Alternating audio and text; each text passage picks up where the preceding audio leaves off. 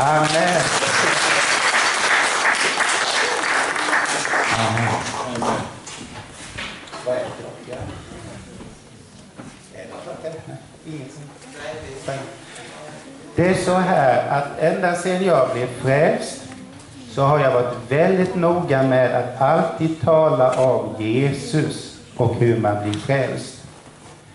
Jag har egentligen haft en väldigt enkel förkunnelse, Eh, eh, men det har ibland krånglat till lite ibland. Men ju mer äldre jag blivit, ju mer åren har gått, har jag blivit enklare och enklare och enklare.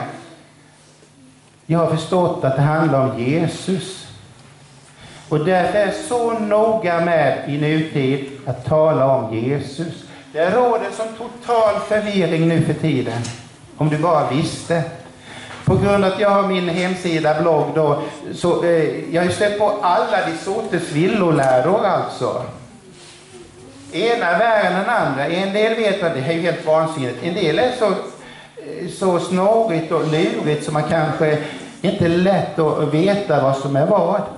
Men om du ska veta om någonting är fel, om någonting är, är villolära, då ska du hålla dig till Jesus. Och, vet veta att det är han som ensam är frälsaren, ensam är Herren. För kommer det någon som säger någonting annat, ja Jesus är bra, men du behöver också det här. Då vet du, det där är inte rätt. För det är endast Jesus. Jag håller på att skriva en ny bok förresten. Endast hos Jesus finns frälsningen. Den är egentligen klar, men jag ska bara justera lite och sådär. Det är endast hos Jesus Kristus. Och det står i Johannes 1 och 12, men åt alla dem som tog emot honom gav han rätten att bli Guds barn åt alla dem som tror på hans namn. Och det är just att ta emot, det finns överallt i Bibeln, ta emot. Det finns de som har sagt sådär, det där är inte rätt. Man ska inte ta emot Jesus, det säger en del. Men det finns ju flera ställen. Sackeus, han som klättrade upp i trädet.